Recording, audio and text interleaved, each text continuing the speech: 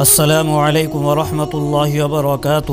دوستوں، دارالعلوم دیوبند کے سب سے پہلے مدرس حضرت مولانا محمد یعقوب نانوتوی رحمۃ اللہ علیہ، جو اپنے وقت کے صاحب دل اور مجذوب شخص تھے۔ حضرت مولانا محمد یعقوب نانوتوی رحمۃ اللہ علیہ بہت بڑے بزرگ تھے۔ دوستوں، آپ سب حضرات، ان کی بزرگی کے واقعات سن چکے ہوں گے۔ حضرت مولانا محمد یعقوب نانوتوی رحمۃ اللہ علیہ ایک دن درسگاہ میں یعنی کلاس میں، یہ کہتے ہوئے آئے کہ منوا کر چھوڑا پوچھا گیا کیا منوا کر چھوڑا اور کس نے منوایا حضرت نے فرمایا میں ایک عرصے سے دعا کرتا رہا کہ اے اللہ جو بھی اس دارالعلوم دیوبند سے فارغ ہو اسے معاشی لحاظ سے کبھی تنگی میں مبتلا نہ کر یہ دعا میں ہمیشہ کرتا رہا مگر آج تو اللہ تعالیٰ سے منوا کر ہی چھوڑا آج اللہ نے میری دعا قبول فرما لی دوستوں علماء فرماتے ہیں اس دعا کے اثرات مدارس کے فضلہ میں پائے جا رہے ہیں۔ مدرسوں کے پڑھے لکھوں میں پائے جا رہے ہیں اور پائے جاتے رہیں گے انشاءاللہ تعالی۔ چنانچہ حضرت مفتی محمد شفیع صاحب رحمۃ اللہ علیہ ارشاد فرماتے ہیں، قسم کھا کر کہتا ہوں کہ میں نے ایک عالم بھی ایسا نہیں دیکھا جس نے اللہ کے لیے پڑھا اور پڑھایا ہو اور اللہ نے اس کو عزت اور راحت کی زندگی عطا نہ کی ہو۔